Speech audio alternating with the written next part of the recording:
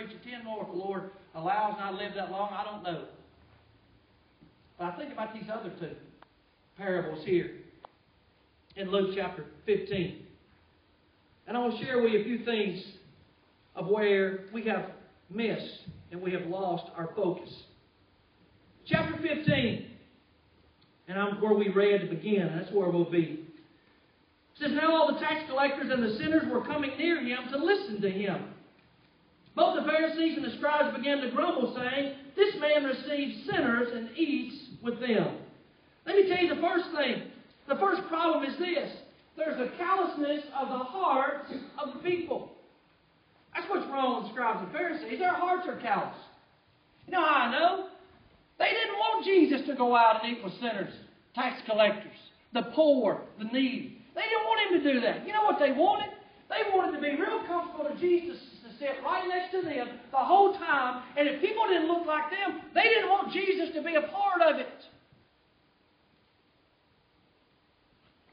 I'll tell you this, I'm thankful that Jesus came for another reason than what the scribes and Pharisees thought. Because you know what? I'm one of those people that probably if someone have said, Why is he talking to him? Look at his lifestyle. He's got to, the Lord's got to know he's dirty, he's unclean, full of sin, all those things, by the way, times ten. I'm thankful that Jesus came for people like me. Do you know what? It's a callousness of the hearts. They're more concerned about themselves. In fact, they're upset. It says they begin to grumble. This man receives sinners and eats of them. You know what they're saying? Let's, let's paraphrase that. How dare him go and hang with those people? You know what they is? Those are the very people he came to hang out with. The only difference between the scribes and Pharisees and those people that they didn't want him to be with was the realization they didn't know that they were lost. These other people knew that they were. They thought they were righteous enough in their own self righteousness. They didn't need a Savior. And the truth is, they needed the blood of Jesus just like everybody else. And I'm going to tell you something. We forget sometimes that the very reason we're here is to reach out to people who are just like we were. We forgot it. We've forgotten it. Because every time we want to fix a problem, it, doesn't include going out and reaching those people who need Christ. You know how you fix a budget? I tell you how you fix a budget. You reach people for Jesus. They get on fire for God. They begin to give in a way that God is glorified. And we have excesses of budgets. We don't worry about budgets because people are coming to know Jesus Christ. You know how you fix a fellowship problem? People come to know Jesus Christ.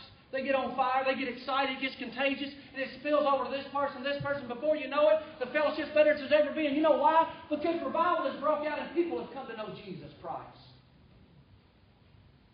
We're missing it. If we want to be obedient to what God wants us to do, we need to quit looking in the mirror and say, God, what can I do for me? And I need to look out and say, what can I do, Lord, for the glory of the kingdom of God? Go out and share. I'm telling you, I think about it and I think about the people who had the nerve, and I mean nerve and the courage. What I mean by that is the courage and the strength to say, hey, I want to share with Ronnie. He's lost. He's living in sin. He's bound for hell apart from somebody telling him about the good news of Jesus Christ. Aren't you thankful? Well, their hearts are calloused because they're more concerned about Jesus hanging around with them. They didn't like the fact he was going and hanging around with others. The second thing we see, not only we see the callousness of the people, but we see the compassion of Christ. The compassion that God desires, not only of His own, but for us. He said in verse 3, so He told them the way, He knows they're grumbling. He knows what's going on in their hearts. He knows they're upset. And He knows they're calloused. Says, What man among you, verse 4, if he has a hundred sheep and has lost one of them, does not leave the 99 in the open pasture and go after the one which is lost until he finds it? When he has found it, he lays it on his shoulder, lays it on his shoulders, excuse me, on his shoulders, rejoicing. But look at verse 4. He says, What man among you, if he had a hundred sheep and lost one, he wouldn't leave the rest and go find the one? You know what he's saying? He said, if you had a pasture full of sheep and one of them got lost, what would you do? You'd run out and find them. You'd learn, look and you'd search and you'd scratch. You'd turn every bush and you'd go at every corner and every crevice and every rock. You'd go every field. You'd go everywhere you could to find it until it was found and saved.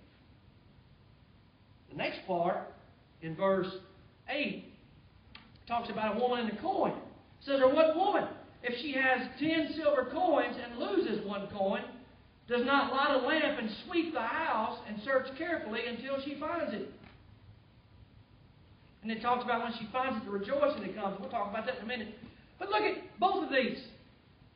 And here's what we understand from both of these parables.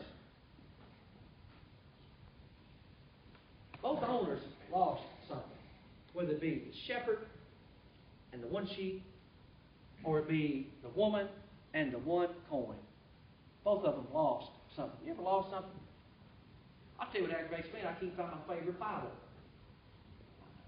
I got them all over the place. I probably got one nearly in every room, but I'm looking for one. And I'm not going to go to bed and go to sleep until I find it. It agitates me. I am OCD. I understand all that. But I'm looking for it. And Lisa might say, hey, you got three right there. I don't want those three. I want this one. I know what she's thinking. How have I tolerated it this long? Thank you, Lord. And I say, I want to find them. And it's nothing for me to get dressed, put shoes on, go out in the Jeep and say, let me find it. It's midnight. But I want to find it. I'm looking for it. And here's the thing. I won't be, I won't settle, I won't be satisfied until I get it. So when you going to read it? I'm not just reading one verse. I don't know. I'm nuts like that. But the deal is I want it. I've lost it and I want it back. You ever, you ever like that for anything? You got whatever. It can be lots of things. It can be a pair of socks for all I know. But I'm looking for it. And I'm not going to settle till I find it. You know what? We ought to have that same desire for that lost person. That's right. You say, I've shared with him 15 times. You may take 15 more. Here's the deal. I'm not concerned if I lead them to Christ or someone else does. What I'm concerned is they come to Christ. Maybe it took 15 for me, where God would use, not that I did it, but God used that just to soften the heart enough for the next person who walked in, first time they've ever shared with them, and they said yes to Jesus. But you know what? I'm not going to quit. I'm not going to quit and that's the thing about the people in, in the parable.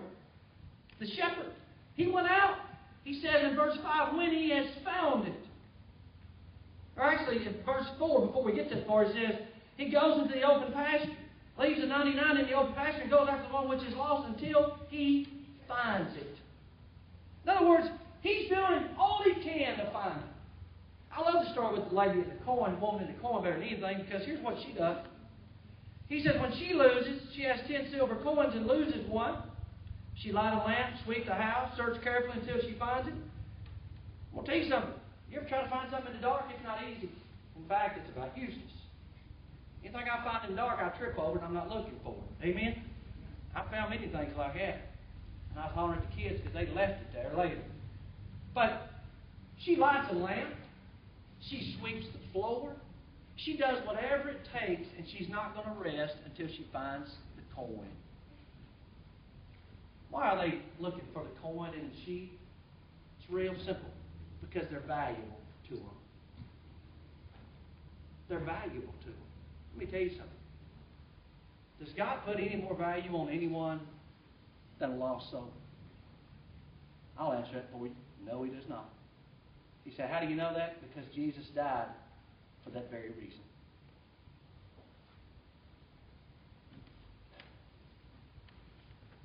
They lose something, and they don't rest until they find it. Church, all of us. You want to watch God do a miracle in His building amongst His people? Let's start reaching lost people. Let's start praying and sharing without rest and watch God show up and do what He does. Because I tell you what God is, He's always faithful. and hearts will be saved, lives will be changed, and God's people will get on their face, on their knees, and on their feet up doing what God has actually called us to do. But that's what He's called us to do. Now, He's not saying these other things are not important. We talk about, when I started this, about scripture memorization, giving, serving. I understand all that's important. That's a part of it. But I'm telling you, when we focus on those things and not the salvation of others, our focus has went from looking out to looking in. And that's when the church becomes stagnant and even worse, dead. That's what happens. Look at Southern Baptist Convention. Y'all seen the stats, number of baptisms, and I realize it's not about baptism, but it's a reflection of confessions of faith in Christ. Y'all know that. It's declined for the last few years. Why? I'm convinced because we're more concerned about other things than reaching a lost one. All of us. But they go, they do whatever they need to do. She lights the lamp, she gets the broom out, and here's the thing. I was reading a book this week, and here's what really hit me. The preacher says this. He said, The goal of the church is not to maintain ministries, but to reach the lost and disciple. Think about it? He said, The goal of the church is not to maintain ministries. So we say, Oh, we got all these kind of ministries. He said, Here's our goal. He said, The goal is to reach the lost people and to disciple. And he said, What we've decided to do, and he said, it was met with much resistance, by the way, and I can imagine. He said, Every year we evaluate these ministries. If they're not discipling people or reaching people for Jesus, we cut them. Cut them out. He said, one of the most, he said, one of the things I did that, that caused the most controversy, he said, they'd have a breakfast year after year for a group of people in town, and he said it was breakfast, it's just what they always did. He said, we got to looking at it. He said it was one of the biggest budget strains all year. He said, we looked at it, we said, is anybody being reached to that? Any discipleship being done? And for the last 15 years, no. I said, no, it's just big fellowship. He said, we're going to cut it. He said, people wanted to run me out of town.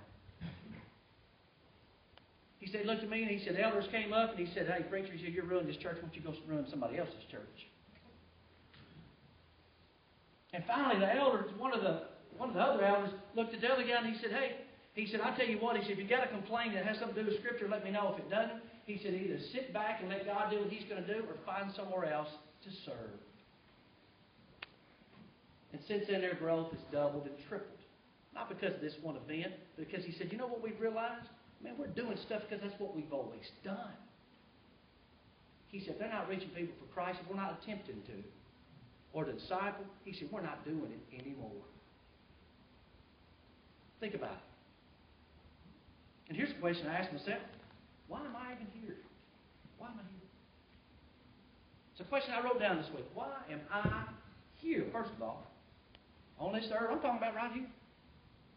And the second thing is that I really desire to serve God the way I should. And if I do, what am I going to do about it? Kind of questions I'm writing down and, and filling out myself. I want to tell you something. We all ought to do that. Why are we here? Why are we here? Do I desire to serve? And if so, why? Why are we serving? Not because somebody asked us to, I pray. That's not the answer. But because what Jesus did, and I'm here to seek out and to share with those. I know I can't save them, but I can share with those who are lost. I know God does the saving. I know that and the Holy Spirit draws them. I know that. But He also sends out His people to do the work through. Compassion. Compassion calls them to do something. The value of what was lost calls them to do something. And let me share with you the last thing. There's a celebration that takes place. He said in 15:6, and when he comes home, he calls together his friends and his neighbors, saying to them, Rejoice with me, for I found my sheep which was lost. So here comes the guy home. Here he comes. He's lost one sheep. He's got 99. I mean, think about it. It's just a round number, by the way. It's a parable. But he's got 99. And so, why is, that, why is he that concerned? i tell you why. Because every one of them is just as important as the other one. The bag. Think about this. He's got 99 back home. Should he be that excited? Yeah, he's that excited. he puts us on his shoulders. And he comes on and tells his friends and neighbors, Look, I found it. I found it.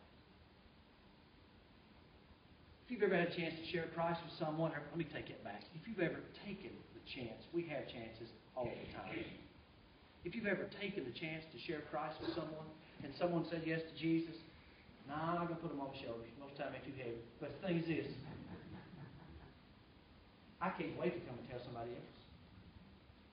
I can't tell you how many times we've been in office and someone say yes to Christ, and as soon as we walk out, someone comes up and I say, Kevin, come here, let me, let me let you meet our new brother in Christ. He just prayed to give his heart to Jesus. I'm just using Kevin's example, but if he's one in that office, he's the first one that's going to get it. And I walk a little further in that oh, foyer, and here comes someone else. Here comes the Lord. Says, Lord, meet your brother in Christ. He just said yes to Jesus. Know why I do it? Because I'm excited about it. Because there is value. You know why I know there's value? Jesus shed his blood for that one soul that he might come to him. That's why I'm excited. I get excited about lots of things. I'm excited. We've got a baptism here in a few minutes, and we're going to celebrate. Amen. But I got news for us. Celebration been going on ever since Sierra said yes to Jesus. Heaven's been rejoicing for a long time, for days. And I pray that we're doing the same. Amen? Amen. It all get us excited about it. But yet, here's the celebration that comes. He comes back. He said, I found my sheep which was lost. And look what Jesus said. I tell you that in the same way there will be more joy in heaven over one sinner who repents than over 99 righteous persons who need no repentance. You know what Jesus said in a nutshell? You want to see a real celebration in heaven? It's not for this other stuff we've been talking about. It's when someone says yes to Jesus. You want to hear a celebration from heaven? You want to see all the angels rejoice? This, by the way, it talks about in the next parable. You want to hear the angels rejoice? When someone says yes to Jesus and prays to surrender our heart to Jesus Christ, all heaven begins to rejoice. So, when we think about Jesus said, I have come to seek and to save that which is lost, we use the term Christian and we're tagged with that. It means to be Christ like. And that will be a challenge to all of us, me included, every one of us, to ask the question how often am I seeking out those who are lost?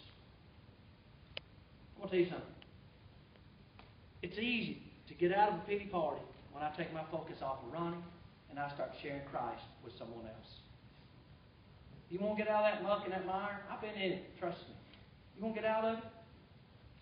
Take your focus on your circumstance. Look at someone else's desperate need. Say, How do you know they're desperate? I'll tell you why. Because they're one breath from eternity in hell unless they know Jesus Christ. The scripture talks about that sheep wandering away. It's almost an implication of a desert land. In other words, a destitute place. They're going to die if they stay out there. Guess what? So is a world going to die without Christ if we don't reach them. That's where they are. Every one of them. You know how I know? I was there and so are you if you're a child of God today. Two things. You either have been there, or if you don't know Jesus Christ today, you are currently there. But I'm going to tell you some good news in a minute how to be removed from that. The woman says she found the coin. Verse 9. She found it. She calls together her friends and neighbors. What's the first thing she do, does? That's nice English. What's she do? What's she to do?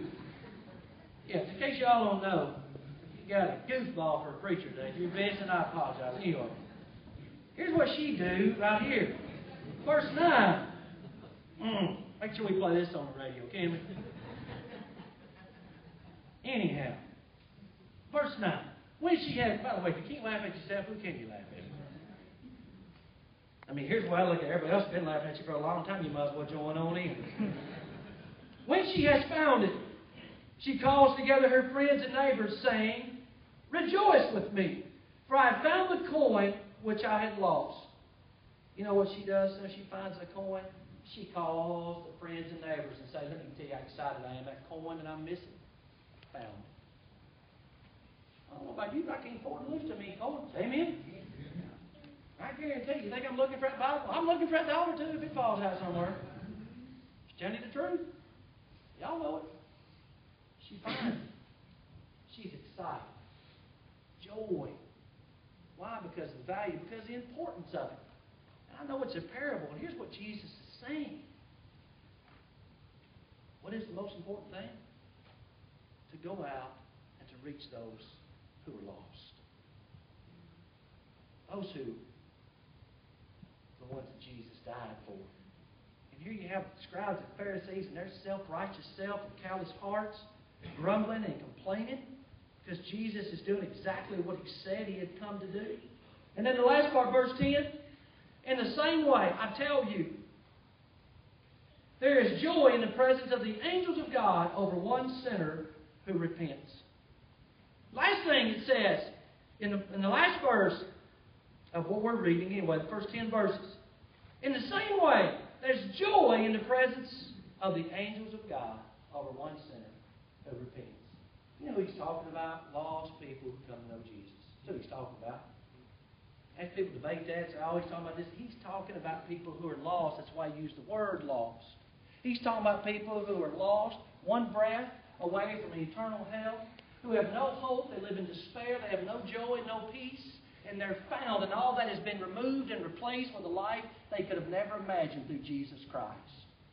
And that's why all of heaven, the angels of God, all the heavenly hosts stand and rejoice when someone says yes to the King. What an awesome sight. You know, I think about Revelation. We studied that a while back, whenever it was, last year. And we got and we got talking about the heavenly host and the shouting. Uh, glory, glory, glory is the Lord God Almighty. All day. Remember all those pictures of heaven? I know we can't completely picture it now, but I think about that. You know what else? That reminds me. Can you imagine that celebration going on? Guess when it happened? It happened the day I prayed and gave my heart to Jesus. You know what else? As a child of God, it happened the day you prayed and gave your heart to Jesus. And it happens every time a, a sinner repents and surrenders to Christ. Look, this is a wake up call for me as well as anybody. I'm here to tell you. The problem with the church, I'm talking about as a whole today, is this. Our focus has been on us. What's good for me? Will it make me feel better? Will it make things better for me? When the truth is, our focus ought to be on those who are lost. If we're going to follow Christ's example, and by the way, that is the example to follow, it's real simple. Seek out those who are lost. And this is the last thing I want to share. I might have already said that already, but this is the last thing I'm going to share. Here's the best news of all. If you're here today and you don't know Jesus Christ, let me tell you how you can. Romans chapter 10 tells us, we can look at other passages, but Romans chapter 10 is clear as it can be. You confess with your mouth Jesus is Lord and believe in your heart that God raised him from the dead, you shall be saved.